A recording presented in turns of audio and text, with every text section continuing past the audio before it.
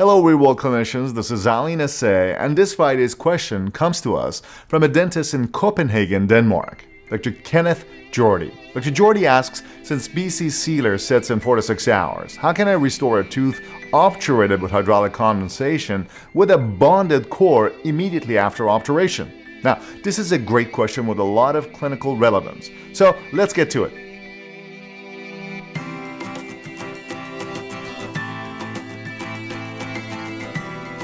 We all know that following endodontic procedures, timely restoration of the tooth with a definitive coronal seal in the form of a filling or a core buildup and a crown is of paramount importance to the long-term success of that case. Now, whether a root canal treated tooth should be restored immediately or with a definitive restoration is really a function of how confident the operator feels about the quality of the root canal treatment, the clinical requirements of the restorative material, as well as some other logistical considerations. But more often than not, when endodontic objectives have already been uh, achieved clinically and successful results are expected, Restoring the tooth immediately after the obturation is the best way to ensure the best coronal seal has been achieved aseptically while the rubber dam is still on. Of course, uh, different restorative materials have different clinical requirements. For example, dentin bonding is inhibited by fresh eugenol. Therefore, if you're using a zinc oxide eugenol based sealer, you should either use a non-bonded core material like amalgam or if you definitely want to bond your core material, then you should reappoint the patient to a following visit, a second visit, a couple weeks later, uh, so that the free eugenol has already uh, been depleted during that time period. Of course, ZOE-based sealers have additional poor characteristics, which is why I generally recommend using a non-eugenol-based sealer, so that you don't have to worry about all these types of dilemmas. Effective cleaning of the excess cement from the pulp chamber following obturation is also really an important consideration. Uh, your quality of the bond is really affected by the quality and cleanliness of the dentin on the furcation floor and the walls of the pulp chamber. Using harsh chemicals like chloroform or other solvents to remove excessive gutta percha and resin sealers during thermoplastic techniques will leave a thin film or residue of this material on the dentin walls that may affect the bond.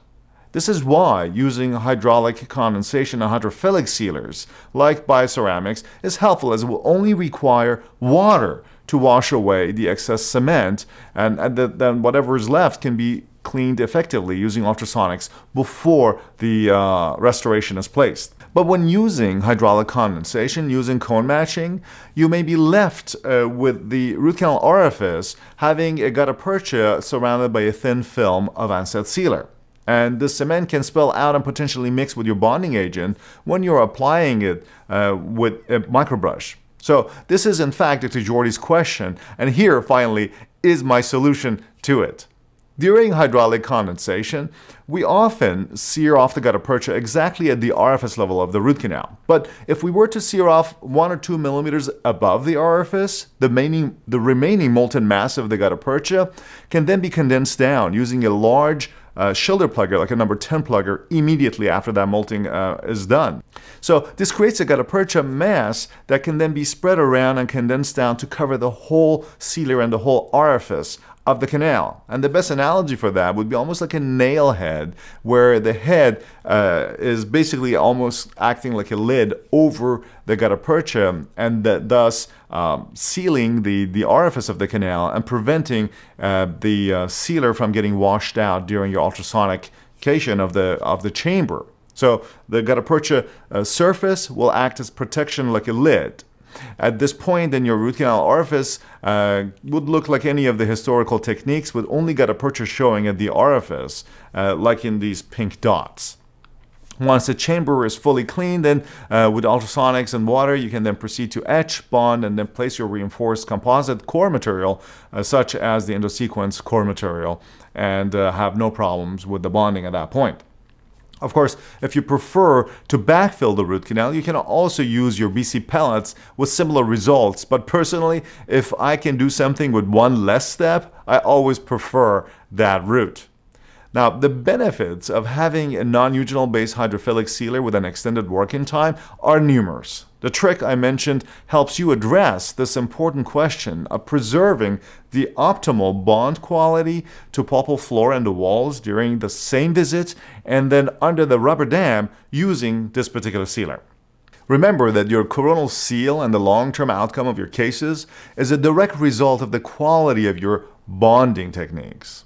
With proper bonding and coronal restorations free of microleakage, your endodontic cases will have the highest chance of success in the long run.